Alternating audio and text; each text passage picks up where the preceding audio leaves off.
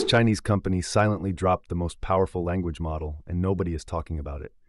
In benchmarks, this model crushes GPT-4 by a huge margin. SenseTime, one of the world's most powerful AI companies, just dropped a massive bombshell on the industry that could change everything we know about artificial intelligence.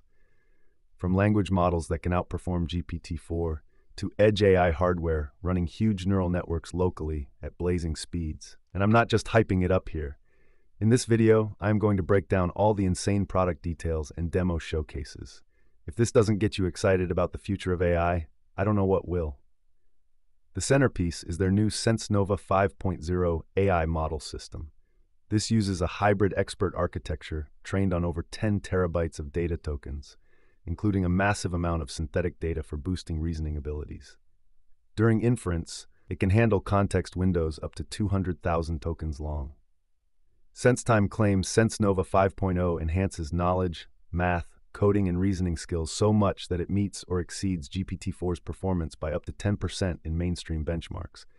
Their demo showcases feature their SenseNova 5.0 model system, going blow for blow with GPT-4 Turbo, while flexing visionary multimodal skills. They even played the classic fighting game King of Fighters in one demo. At first, the green player, which was GPT-4, had a slight upper hand, but it didn't last long before the red player, Sense SenseTime's own SenseChat Lite Edge model, started overwhelming GPT-4 with a relentless combo attack. In the end, SenseTime's fighter emerged victorious over OpenAI's contender.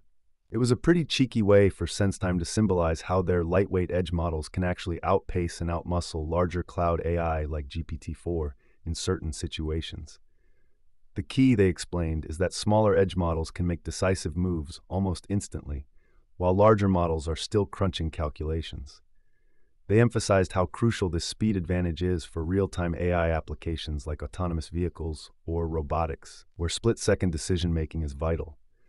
So while GPT-4 may be an immensely capable cloud model, SenseTime was flexing their specialty in ultra-low latency edge AI that can sometimes beat the bigger fighters to the punch. Tech giants like WPS Office, Xiaomi, Huawei, and major banks who are already integrating their AI breakthroughs. And frankly, we'll gawk at the mind-melting AI feats like text-to-video generation that SenseTime paraded for the world to see. One of the most jaw-dropping demos they showed was their text-to-video AI system. Essentially, you can feed it a written description or script, and it will automatically generate a coherent video based on those instructions. That's already incredibly powerful on its own.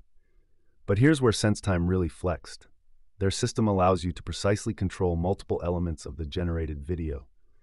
Want a specific character with a certain hairstyle, outfit, and accessories? No problem, you can preset those details. During the demo, they showed examples spinning up entirely new characters with different looks and outfits into distinct surroundings, all from scratch based on text inputs. The potential for creative expression and world building is simply mind-boggling.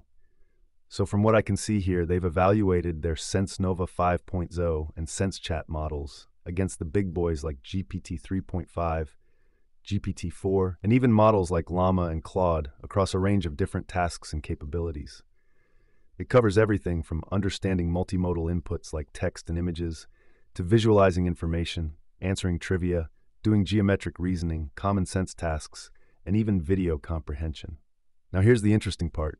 In several of these categories, SenseTime's models are literally outperforming GPT-4 and the others. Like just look at that helping hand. Task for vision language robot control. SenseTime has left everyone else in the dust. Those green highlights show where their models scored the best compared to all the other industry models listed. So in areas like multimodal language understanding, handling Chinese text, and certain types of reasoning, SenseTime seems to have a legitimate edge. Obviously, GPT-4 and Claude are still hugely capable models themselves. They trade blows across different tasks. But SenseTime clearly wasn't messing around when they claimed their models can go toe-to-toe or even surpass GPT-4 in certain specialized skills. It makes you wonder what kind of data and architectures they use to achieve those kinds of decisive wins in areas like multimodal grounding and robotic control. My money is on tons of synthetic data and real-world samples from their computer vision work. Anyway, I know benchmarks can sometimes be cherry-picked or gamed, But assuming these are legit third party evaluations, it's a heck of a flex for SenseTime's AI chops. Makes me excited to see how they'll put all these capabilities into real world products and services. Oh, and we have to talk about one of the products SenseTime revealed as part of this big AI launch the Little Raccoon Code Large Model All in One Machine. This is essentially a self contained appliance built specifically to supercharge AI coding assistants and developer workflows. They claim it only costs developers less than $4.50 a day to run this thing. If those numbers are anywhere near accurate, it could make AI pair programming ridiculously affordable for enterprise teams compared to cloud alternatives. But the benefits go beyond just cost savings.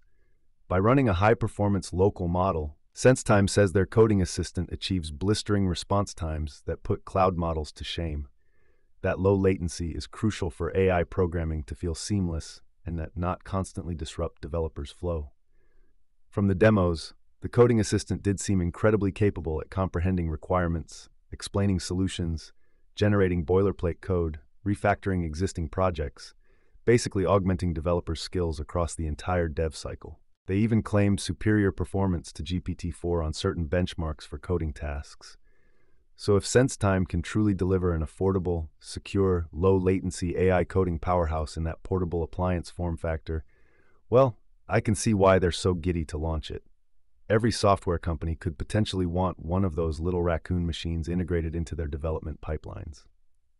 It's the kind of productized AI that makes the technology tangible and accessible, instead of just living in theoretical cloud models. The real test will be how well it actually works at accelerating development in the hands of coding teams. But SenseTime is making a bold play to become the de facto AI coding companion for enterprises. It's just one piece, but a seriously compelling one, in their grand AI platform vision. But here's where it gets really wild. Their vision AI capabilities were also superhuman like. Like you could show it a food photo, and it would describe every item while calculating total calories accurately. Or it could read text and interface elements perfectly from application screenshots. The multimodal skills were just mind blowing. Look, I know skepticism around hyped AI claims is healthy, and SenseTime will need to walk a tightrope to ensure their models are safe, unbiased, and secure as they scale. But man, you have to admit, between the cutting edge model capabilities, supercharged hardware, app ecosystem, and those tantalizing enterprise appliance plays, this launch package had enough gas to potentially make SenseTime a major global AI force. Am I overreacting here? Or are you as stoked as I am about where the Chinese AI landscape could be headed, with SenseTime taking a bold lead? Let me know what you think, because my mind is still racing from all those demos and product details. I may need another coffee to settle my AI hype levels. If you're new here, be sure to subscribe and turn on notifications. That way you'll stay up to date whenever I drop a new video. Thank you.